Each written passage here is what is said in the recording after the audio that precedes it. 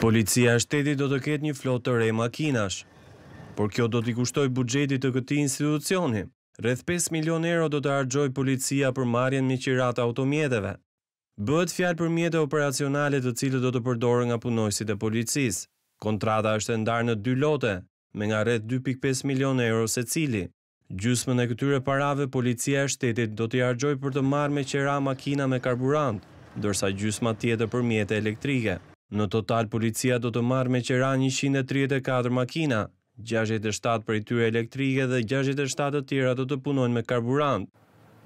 Çdo ditë për secilën makinë do të paguhen rreth njëzet e gjashtë euro.